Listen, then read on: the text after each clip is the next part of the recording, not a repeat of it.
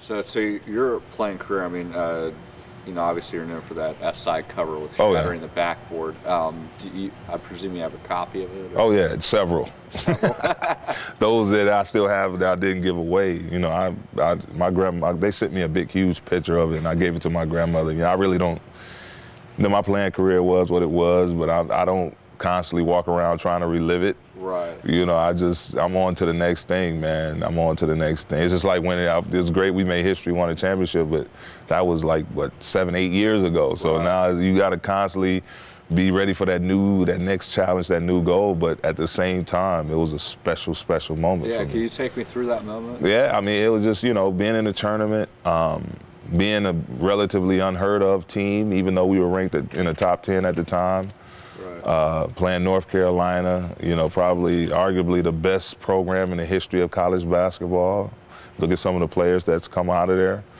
Um, you know, it was just a moment that no one expected, and that play actually, when I did that, it tied the game up. I mean, we were going back and forth, and yeah, they had Jeff McInnis, Vince Carter, Antawn Jamison, uh, Williams. They had about five NBA players on that team, so.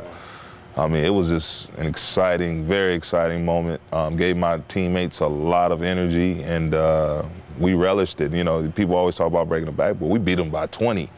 And uh, tell John Houston, Mitch Kupchak, I said So, that. you say that to them, to them? Yeah, Mitch told me yesterday. I guess they had to write up in the L.A. Times, and they showed that picture. He said the picture was grainy. and he said, "You know what that means, Darvin?" I said, "Yeah, I'm getting old, man. I'm getting old." so, yeah, you know, it's great being around those guys. Uh, most of my closest friends are from, you know, the Carolina program. J.R. Reid, uh, Sheed Wallace, Jeff McInnis. You know, a lot. Stackhouse. I, I've played golf and ate in their homes and, and had a good time. Some of my favorite coaches, two of my favorite coaches, George Karl and Larry Brown, are both from Carolina. So it's a sick relationship to say the least. Now, I know reflecting on your uh, your your career in the NBA, Yeah. uh, you recalled one quote that really stuck out to you. That Larry Brown was saying that every team Yeah. needs a Darvin Ham. Yeah. When you said that, first off, what did that mean to you? Uh, you know, I, I was never, I wasn't drafted, first of all, um, and I ended up playing close to 10 years, which is, you know, my, my health, you know, I had injuries that forced me to shut it down, but, you know, just just him saying that, just and the players he he's coached and the type of teams he he's assembled, um, it was special to me because it lets me know that I was a hard worker, I was a good teammate, um, and every day, you know, he knew what he was going to get from me. You know, uh, regardless of the skill level, uh, coaches are very comfortable when they know that they what they're going to get from a player on a consistent basis, be it practice, shoot around, games, whatever. So you know, it, it was it was coach is a Hall of Fame coach, and I'm honored to have played for him and to be able to pick up the phone and call him to this day. You know, I called him when I was going in, about to come in for this job, and he gave me, you know, some some advice and, and, and helped me with through my D League coaching career. So, coach has always been there for me whenever I needed him, and uh, willing to give good, good advice and, and, and good life lessons. What- kind of advice has he given you in that respect? Um, just just always be loyal. Uh, you know, surround yourself with good people, um, and to work your butt off, man. Never take anything for granted, and always be willing willing to help and, and, and help people get better.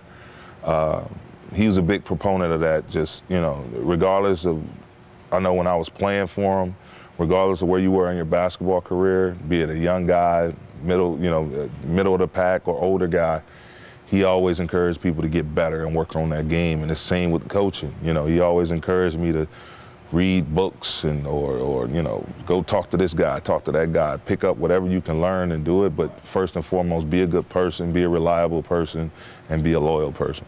And if, from what I understand, uh, that's kind of what you passed on in your when you were coaching in Albuquerque. Oh yeah, yeah. I had guys that you know I I make them understand, and I would tell them listen to the message, not the way it's being delivered.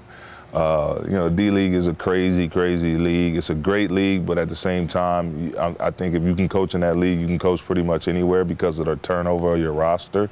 You got co- guys constantly leaving to go overseas or getting called up, or you know, new guys coming into the pool that you want to take a look at. So, you know, it's and you only have ten on your team, so it's it's it's crazy. It's hard to find any sense of uh, consistency. So you really have to have a good coaching plan and, and, and really have be in tune and communicate with your players. Right.